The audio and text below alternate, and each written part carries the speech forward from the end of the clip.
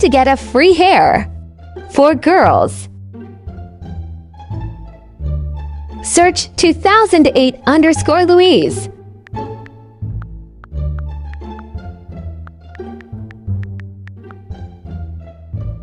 Then click here. Then click on this girl. Go Inventory. Decals.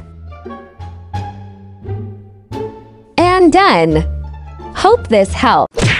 Let's try it. This is my inventory before. Now, I'm gonna search up the user. Here she is. Now we go to inventory.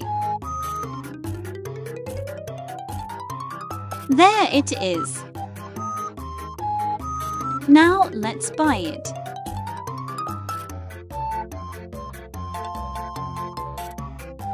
Let's see if I got it. No,